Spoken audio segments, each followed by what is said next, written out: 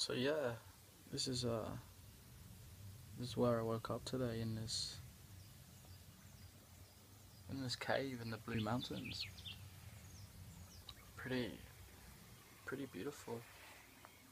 I just completed a uh, yeah, just completed a a 10 day Vipassana meditation course and I really recommend that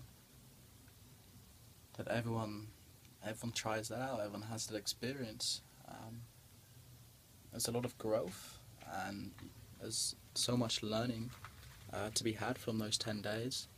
So I really do recommend uh,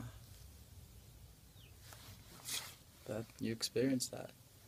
Um, so yeah, I woke up. I finished it a couple of days ago now, and I just I got I'm now in this cave. Yeah, it's pretty uh pretty amazing. I can't guarantee that when you guys when if you finish your course that you'll wake up in a cave the next few days, but it's a possibility. Like anything's possible.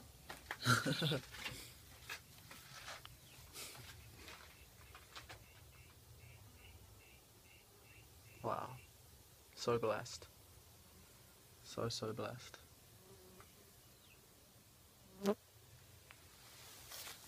So what I'm up to now is I'm actually going to go back to the Vipassana course and I'm going to serve for 10 days uh, because it's all done on a volunteer basis. So,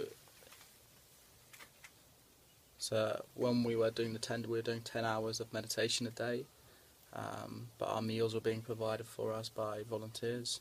So I'm going to go back and and give back what I what I owe to an extent and and start giving. Uh, this is the, what the chapter is now for me. Um, it's a giving chapter.